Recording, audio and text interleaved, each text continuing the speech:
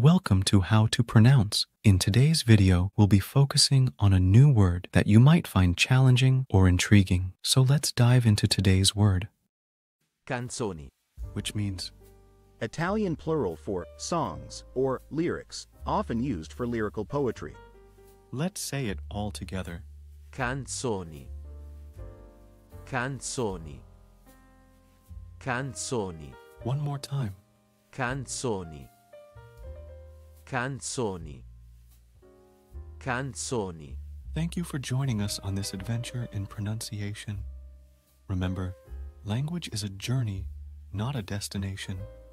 Keep exploring, experimenting, and expanding your linguistic horizons. We'll see you next time.